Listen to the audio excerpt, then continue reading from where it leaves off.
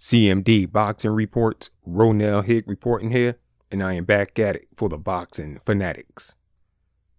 So, Tyson Furious Fury, well, that's the name I has for him. He'll be going into the December 1st fight with Deontay Wilder with no plans at all. Yep, he's not bringing his plan book with him when he gets into the ring with Wilder. He wants a full brawl in the middle of the ring all he wants to do is just throw bombs while trading with Wilder. Well, at least that's what he says. Actually, I believe all that talk about trading with Wilder in the center of the ring is all hype talk. I mean, really, who else are some of the best trash talkers in the sport besides Fury and Wilder? Well, then again, we do has Adrian Broner. However, I'm trying to sit here and imagine on how would two tall, long arm boxers look as brawlers. You know, to be frank with you, I don't think so I've ever seen that before. But if it does happen, that means there won't be a knockout for Wilder or Fury because both these guys are going to be smothering their power by uh, being up close on one another at least that's how I sees it. But on the other hand, uh, the fight could end up being a dull.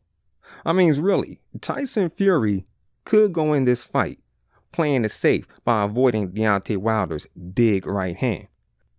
Now, if he doesn't plays it safe during the first couple rounds, then he will after he gets stunned by the Alabama hammer. However, we all know that Tyson Fury could box. The man knows how to move around his opponent's power, and that's the reason why he's never being stopped in his career. However, for Deontay Wilder, well, he's very athletic, but some say he can't box. But rather if he could box or not, Wilder still gets the job done, especially when it comes down to putting his opponents away. I mean, really, let's not forget Wilder did put away Luis Ortiz.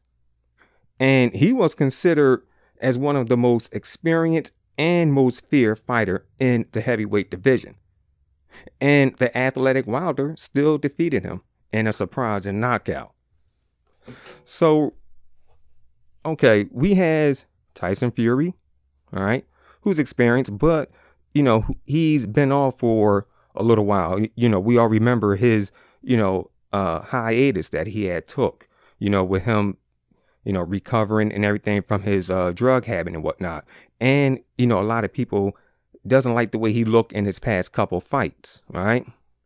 And for Wilder, well, like I said, a lot of people is looking at him as just being athletic. Plus, Wilder has trouble with tall fighters, okay? Fighters like close to his height or taller, Look, the man, he just has problems. So who knows, man? Like, really, I think it's going to be an even fight until someone gets clipped. Okay. I, you know, the excitement won't start in this fight until someone gets hurt. Okay. Or either knocked out. You know, that's how I sees it. So, anyways, before I go, a lot of people is talking about Deontay Wilder's power. You know, some say that Deontay Wilder's power is like overrated.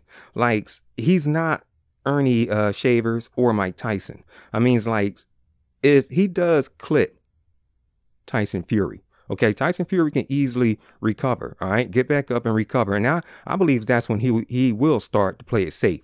Just like uh, when he had clipped Luis Ortiz, he was able to recover. All right, I mean Luis Ortiz was knocked down well, quite a few times before he was stopped. So, you know, it's not like he has uh that Earnie Shavers or Iron Mike Tyson one knockout power. But by looking at his record with like 40 wins and 39 knockouts, you know, you will think the difference, all right? So, anyways, that's my take on this CMD boxing reports. And I'll catch you on the next one.